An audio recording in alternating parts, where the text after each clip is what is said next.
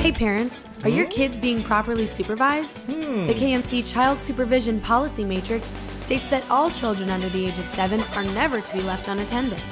Children ages 7 to 9 are allowed to be outside during daylight hours, but not left home alone. As your kids get older, be aware that the rules change for when and where they can be left alone and for how long. You can check out the policy matrix on the Ramstein Livewire so you know the rules for your kids.